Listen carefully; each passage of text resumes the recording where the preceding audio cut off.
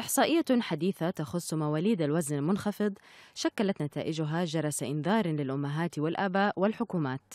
تحليل جديد أجراه باحثون من كلية لندن للصحة والطب الاستوائي بالتعاون مع اليونيسف ومنظمة الصحة العالمية أوضح أن واحدا من أصل سبعة رضع يولد بوزن منخفض ما يعادل أقل من 2.5 الكيلوغرام أي حوالي 20 مليون رضيع في العالم سنوياً الدراسة التي تم نشرها في مجلة ذا لانست الطبية شملت 148 دولة و281 مليون ولادة وخلصت إلى أن ما يقرب من ثلاثة أرباع هؤلاء الرضع ولدوا في جنوب آسيا وأفريقيا جنوب الصحراء الكبرى.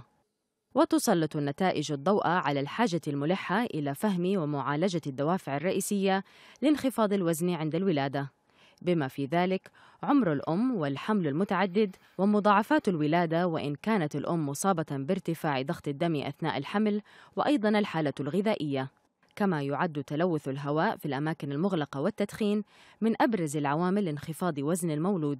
وتأتي مضاعفات الوزن المنخفض عند الولادة لاحقا في حياة الطفل حيث يصبح أكثر عرضة للتأخر في التطور المعرفي والجسماني والإصابة بالأمراض المزمنة مثل أمراض القلب والأوعية الدموية والسكري.